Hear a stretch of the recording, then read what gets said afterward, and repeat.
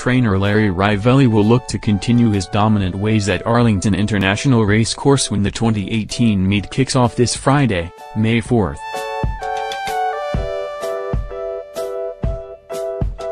Rivelli will be eyeing his sixth training title at the Chicagoland Oval after setting a single-season record last summer with 79 victories on the meet. Trainer Wayne Catalano was the previous record holder when making 75 trips to the Arlington Winners Circle in 2010. I didn't foresee winning that many last meet but I ended up getting on a little bit of the roll, Rivelli said. The ones you lose by nose turn into winners by a nose and so it wasn't really a goal to beat Catalano's record, but once we got close we started paying a little more attention.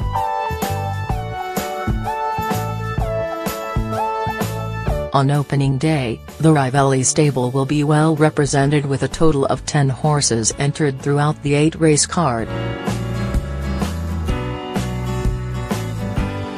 I gave some of them some rest. Rivelli said of his opening day entrance.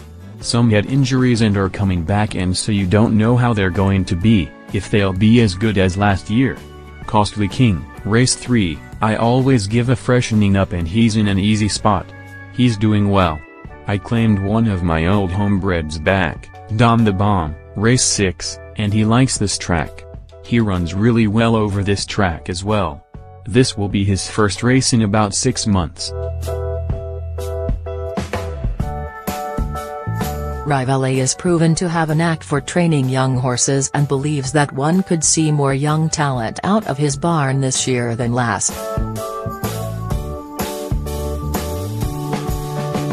This year, I have a lot better two-year-olds, Rivelli said. I probably won't get to run them all here so I may have to ship some of them around, probably to Saratoga, Woodbine or other venues.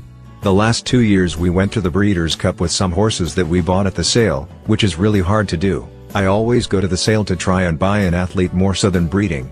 I had cocked and loaded, 5th, Breeders' Cup Juvenile, 3 years ago, then we went with Wellabled, 10th, Breeders' Cup Juvenile Turf, 2 years ago and the Tabulator, 5th, Breeders' Cup Juvenile, last year.